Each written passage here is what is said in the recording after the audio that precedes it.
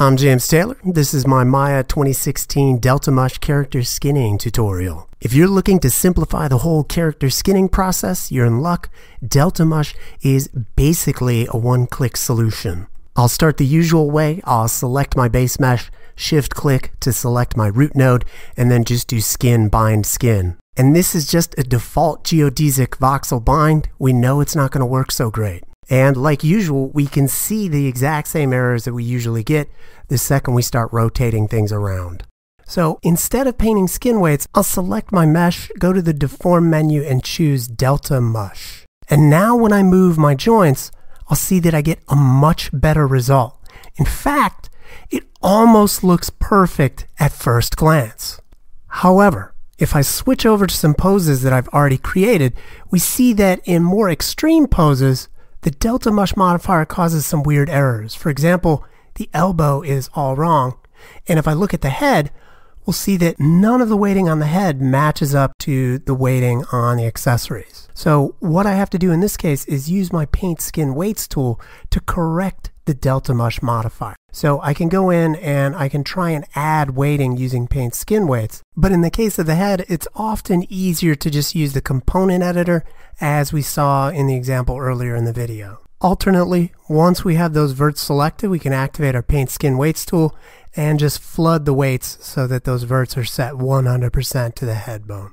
With the elbow, I can do basically the same thing. I can go to vertex mode, select the verts on the center line of that elbow, select the elbow as the influence, and then just flood it to set the verts to the correct joint influence. And then I can do the exact same thing for the row of verts above the elbow. I'll just weight them 100% to the bicep roll bone. And with the row of verts below the elbow, I'll select those and the verts in the forearm and I'll flood them 100% to the elbow joint. So we can certainly fix things manually using the Delta Mush modifier, but there are also settings for the tool itself that can make things a little bit easier. So I'm going to switch over to a more extreme pose that will really test the deformation of the character. So I'll select the mesh and then I'll click on my Delta Mush modifier over in my channel box. And the first thing that I'll look at is envelope. And envelope we usually toggle between 0 and 1 and envelope just turns it on and off.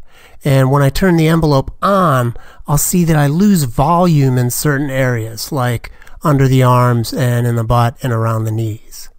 And so I'm going to leave my envelope at 1 because I do want Delta Mush to be turned on. And what I'll look at next is smoothing iterations. And smoothing iterations, the higher the number, the more smoothing iterations it's going to perform. And that means that the smoothing effect is going to become more and more noticeable. So now when I toggle on and off the Delta Mush modifier, I'll see that I'm losing even more volume because of those smoothing iterations. I'll set that back to 5.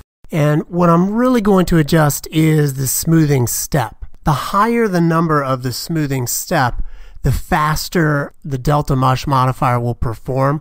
Unfortunately, it's going to give us less accurate results, which usually means we're going to be losing a lot of volume. And so the default value is 0.1. I tend to set it below 0.1, so 0.05 or 0.01. And then we can combine that with adding more smoothing iterations until we get something that smooths the areas where we need it to be smooth and still maintains volume.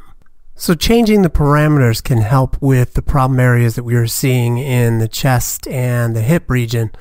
But if I tumble around, I see that I'm losing a lot of volume in other areas. I'm having problems in the chest and in the knees.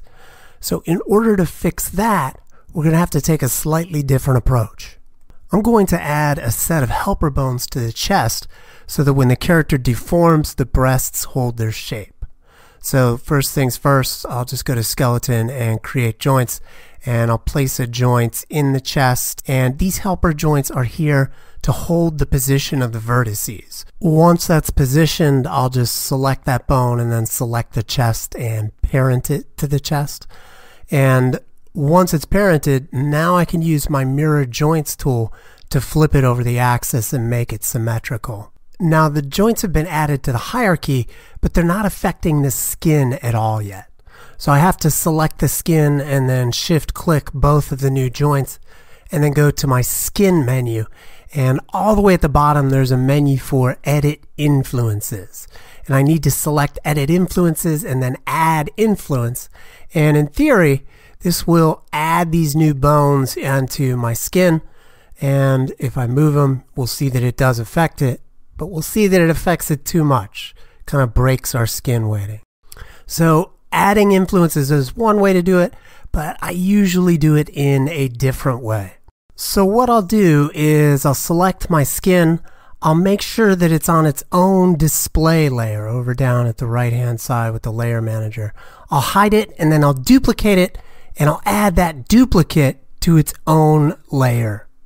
And then I'll bind that duplicate to my skeleton and it will have the normal default weights on it. Then I turn off the display layer for the duplicate and turn on the display layer for the original. I select the original, I turn its display layer off, and then I turn on the duplicate's display layer and shift click the duplicate. Then I just go to my skin menu and choose copy skin weights. And this process has taken the skin weighting from my original, copied it onto the duplicate, the big difference is the duplicate is weighted to the skeleton with the added helper bones on the breasts.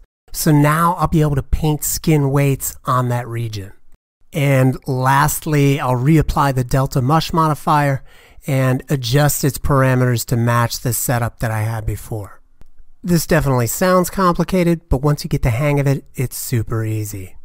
So now I'll go to my skin menu and activate my paint skin weights tool and I'll select the influence for one of the breast helper bones and I'll see that none of my verts are being affected by that joint. And that's simply because we copied skin weighting from a mesh that was not being influenced by those bones. What I'll do is I'll select some verts in the breast region and then reactivate my paint skin weights tool. And now I can use either the brush tool or the flood command to just globally add weighting from those verts onto that bone. Once I've added the weighting, I can return to my bind pose. And once in my bind pose, I can go to my skin menu and use mirror skin weights. Now I can move those joints around and test them and make sure that everything is functioning correctly. Once I'm satisfied with that, I'll switch back into that more extreme pose and now I can compare the delta mush modifier to what was happening before because I've got those added joints in the chest, those verts are holding their position better. We're losing less mass. Things look more natural. Okay, now this vid is just an excerpt from my downloadable extended cut video on joints and skinning. If you like this vid, definitely check it out. I'm James Taylor. Thanks for watching.